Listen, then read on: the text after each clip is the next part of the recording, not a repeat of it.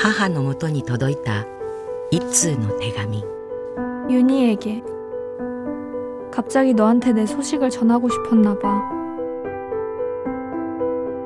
20年前に閉じ込めた思いが溢れ出す 아빠, 응. 엄마랑 왜 헤어졌어?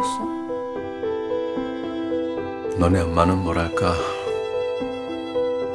외롭게 하는 사람이야. 엄마! 우리 해외여행 갈까? 눈 많이 오는 대로?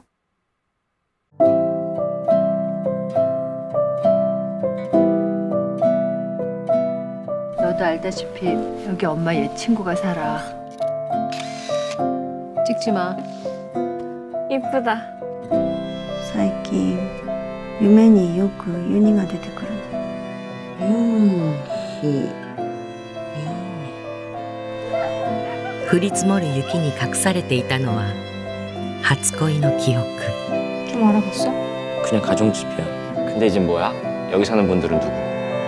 만났어? 맞아.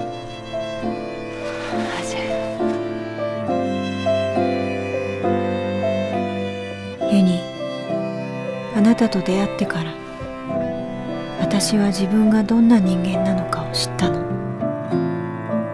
東アジアに生きる女性たちの愛を描き世界中で絶賛されたラブストーリー。ユンヒエ。